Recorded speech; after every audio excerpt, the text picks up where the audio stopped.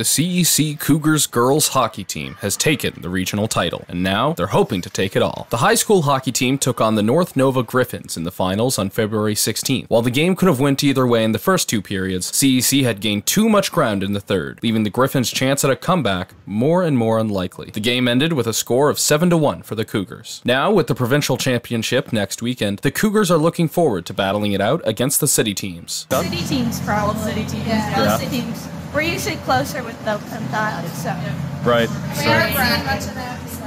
Yeah. Nerve wracking to see where their stance is compared to ours are.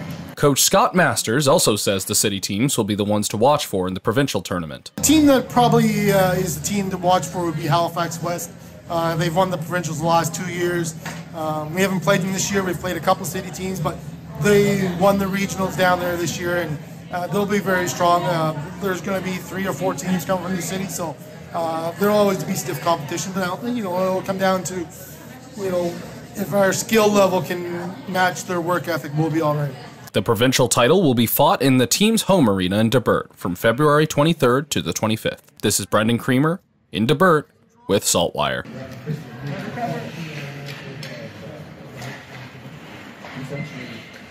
Oh.